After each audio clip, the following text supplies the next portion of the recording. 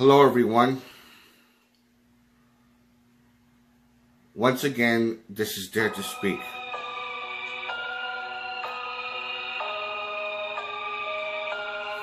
Again, another scary story, a true one. And I'm, like I said before, I'm gonna be keep, I'm gonna keep making more scary stories for the month of October, with Halloween coming up and all that.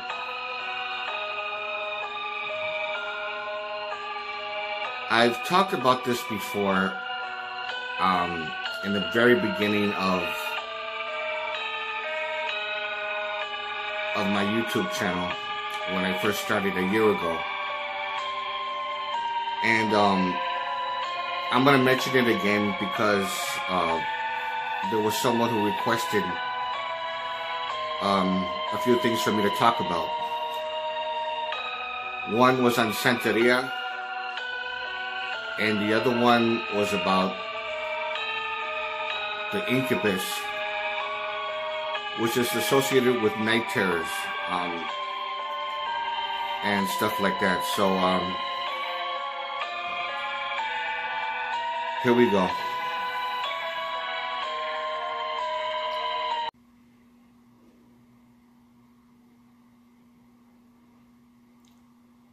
This is the incubus.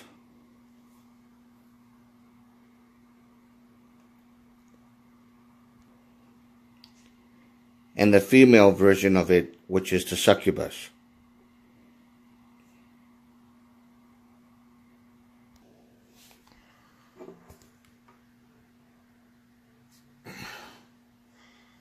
Basically, the incubus is supposed to be a male demon, according to popular um, folklore. And the uh, succubus is supposed to be a female version of it. They prey upon sleeping victims and then they um, have sex with them. The incubus will impregnate the woman and she'll give birth to a, a half-breed.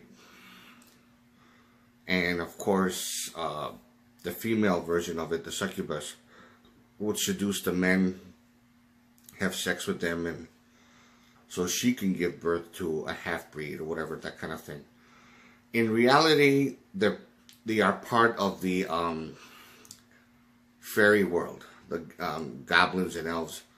They're, like I said, there's different species. I mean, the list goes on and on. You know, uh, bogies, bogarts, leprechauns, uh, wood sprites, goblins, hobgoblins, elves, you know, doppelgangers. I mean, the list goes on and on. There's different species of it. Um, so these really are no different. And they usually are associated with sleep paralysis. And uh, sleep paralysis is um, when you can't move, when you feel that someone's in the room, you're paralyzed, but you know you're awake and then you you have this feeling that you're being watched. Something standing is standing next to your bed, and then you do finally do see it, and then you're terrified, and you feel you you just feel you're gonna die, like you're just about to die. That's it for you, and then some people they pray, uh, they they use prayers just to get themselves out of it, which usually works if you control your fear. I mean, whatever your method is, whether you're praying to Jesus or you're praying to uh, Saint Michael the Archangel Gabriel or or say God help me and or say the Lord's Prayer. I mean whatever whatever works. If it works for you, you I mean which is basically a power of suggestion. That's all it is. It's a placebo effect. Because your mind conditioned you're mind mind conditioned to believe that it's going to be effective. So and because of that it is effective. Not because something came and rescued you but because of your belief towards it and you and your belief your overwhelming faith causes an aura of protection and it wards off the evil intruders of these creatures now it's only ineffective if you cannot control your fear and um, it takes practice, believe me. It's no joke. Anybody who ever suffered from sleep paralysis, who suffered absolute terror of seeing creatures that you that you know that are not natural and stuff like that, and that are just downright evil. Believe me, you'll know exactly what I'm talking about. It is no joke. It's no picnic. It's no. It's nothing. There's nothing good about it. And of course, I can understand if you can't control your fear at first, but again, you have to. If you want these things to stop, you have to control your fear. It's a bitch and a half to pull off at first when you're not used to it. I understand that. But if you keep practicing in your whatever you you actually stand up for yourself, which is no different than standing up against a bully. What do bullies do? They fuck with people that are that they, they know cannot be, uh, they don't have the courage to fight back. So it's really no different than that, except it's a lot more horrifying. It's more intense. That's the only fucked up thing about it. Uh, now, um, hopefully this this answers your question. Now I'm going to talk about um, from another request of Santeria.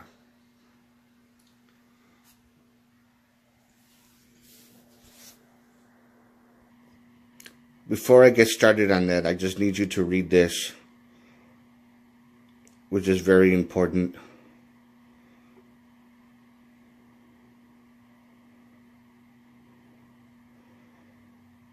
I came across this on Google, and it makes a lot of sense.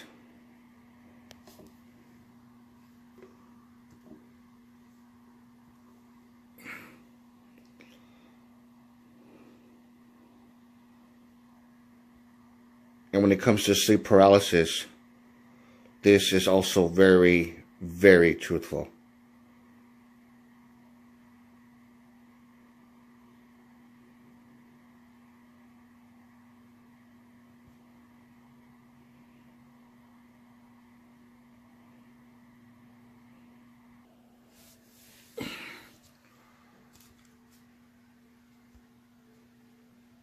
Okay, um, as far as sorry. As far as Santeria, um, there's not much that I know about it other than the fact that it's um, related to voodoo. And um, this it's like an Hispanic version of voodoo. It's basically, you know, some kind of witchcraft. But they use saints. Um, I my grandmother was kind of into that. She would use um, eggs, and you know, you know, to, you know, like I said, I think I mentioned it before in one in one video. Uh, if someone if someone is possessed or someone's been bothered by an evil spirit, you use an egg and they and they pray whatever prayer they do. Um, even with some kind of like Roman Catholic type of thing, because they usually they usually use a lot of that like the rosaries, and they would put saints, uh, not just Jesus, but um, the Virgin Mary. They will have Saint Peter, Saint uh, Christopher, Saint you know this you know the, you know that, that kind of thing with their altar. They give you know they try to channel up their energy in order for, for to make their um, their rituals work. Now, reputation wise, it's, it's usually white magic based. So they don't really harm people. But there's also people that use it for their own sinister purposes. People that are like, um, you could say unbalanced. And the perfect way of explaining it would be um,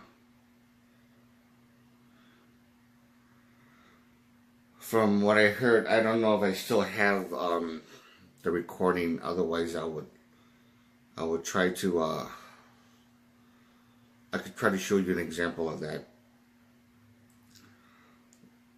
But the thing the thing about it is, this woman says, you know, there's people that would that would uh, use it for their own sinister and their own selfish type of uh, purposes.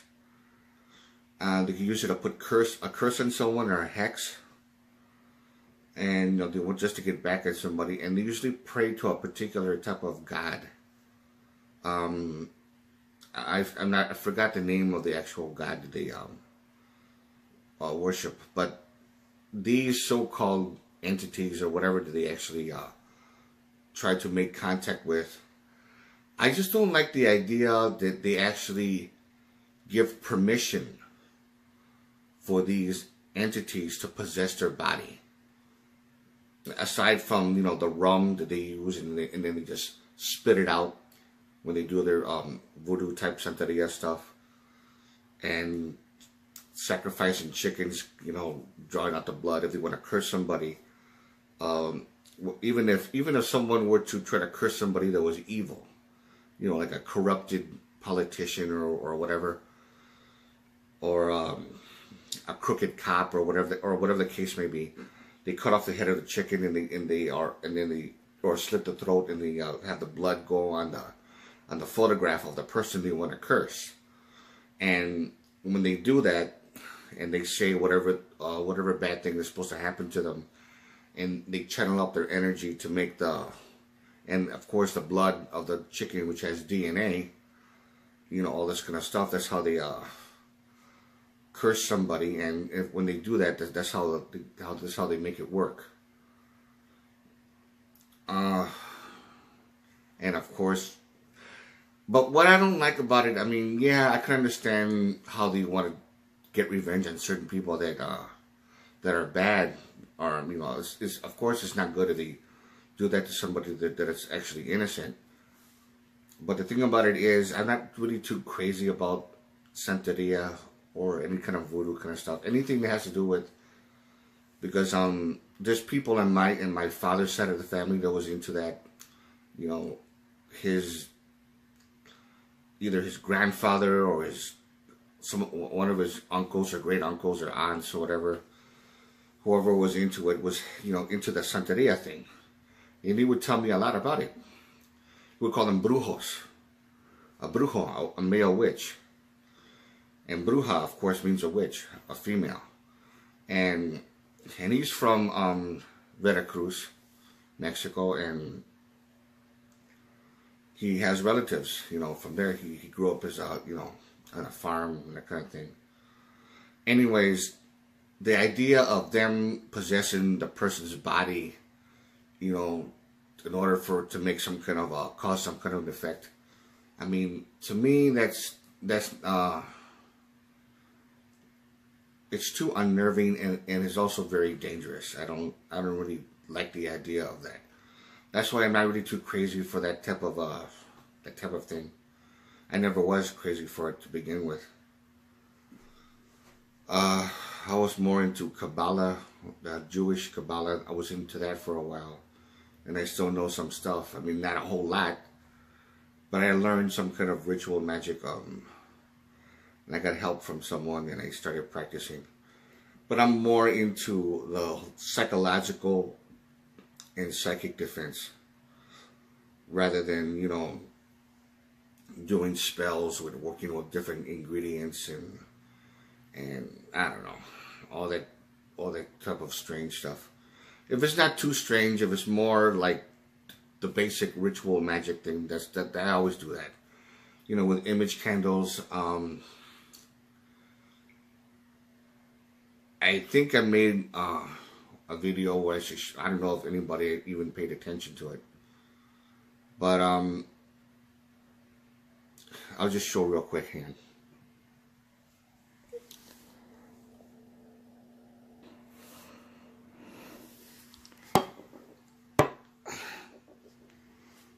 Sorry about that. Um,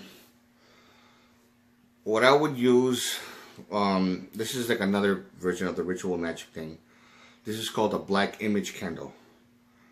And this one's a female and this is used in ritual to um, remove negativity from somebody or to remove evil. If you're bothered by evil spirits, you just light this up. And, you know, they have a male and a female. Image candle. They have it in different colors. They have it in white, they have it in red gray, you know, that kind of stuff for different types of purposes. This is to remove and also for people that are do that are doing um, uh, sinister type rituals. This is also used to uh, to curse somebody, to place negativity on someone too. Or if you want, you know, for people that are into all that evil shit. But um, it could also be used to even bind somebody from harming somebody else supernaturally.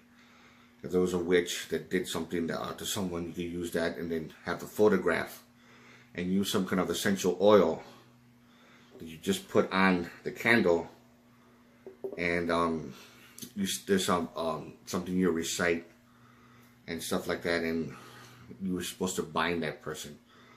There's a lot to explain. Um, maybe anybody who wants to make a request on the actual incantation and how to, to uh, bind somebody from harming you or to remove negativity. Anybody who's been um, bothered by evil spirits and you're at that point that you don't know what you feel, what the hell you need to do. You don't know what to do. If there's anybody out there who uh, wants to know, just let me know and I'll just give the the whole um, incantation and and, the, and all the do's you need to do and, and stuff like that. Because uh, it worked for me when I when I did it. Um, a long time ago, I used to read. Um, hopefully, hopefully there's enough light. Um, this. It's an interesting book. I think it's a very interesting book. Um, it shows all these rituals and all these sigils. And um, you know things like this.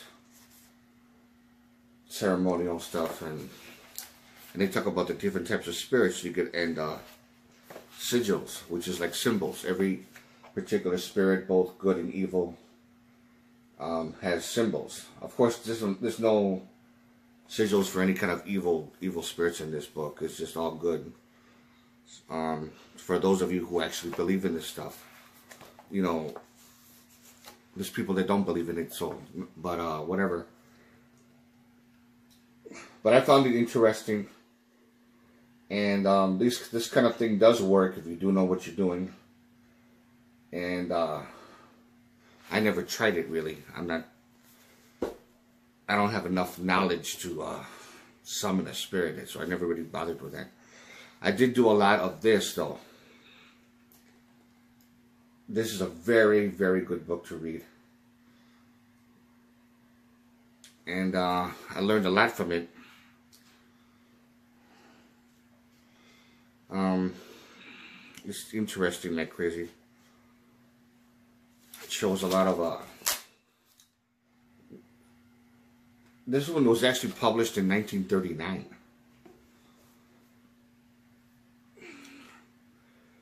And uh, they talk about the legends and they talk about certain type of uh for those of you who believe in angels um there's an angel named Urian which is um an angel that's invoked uh, against sorcery and sudden death. You'll find it in page 140 they actually they have the, the actual incantations for that there's an angel named uh, Urian, and um, he's summoned, and then he'll his essence will protect the person who does the who recites this actual incantation here. And then, and of course, it ends with Amen. Um, de uh, deliver deliver me from all sorcery, from all reverses from poverty, from wicked men, from, you know, whatever. It goes on and on, that kind of thing. It's pretty, it's pretty, uh, lengthy, but, uh, it's interesting. I was into that for a while. But right now I'm just more into the whole psychological part of it. And something else that I do um, that protects me, but I can't really say what it is. But it's very, very effective. And um, one person says, "Why don't you just say the why don't you just say the incantation of what you use to protect yourself? Because there could be somebody out there that needs help." It's not that I don't want to say it. It's just that it's a very powerful incantation that really helps to ward off evil. But um, it's basically for people who don't really believe in God or the or the or Satan. Um, I wish I could tell you exactly what it is, as far as the diabolical evil, what's that's really um, tormenting humanity. I wish I could tell you that, but I, I, I in a sense, I really can't. Um, there's there's reasons why, and you know, I can't get into that. Um, but whatever your your faith is, I mean, I mean, like I said, it's a, it's a placebo effect. The mind believes what it chooses to believe. Um, if there's anything you want me to cover or talk about, I mean, any questions or, uh, like I said before,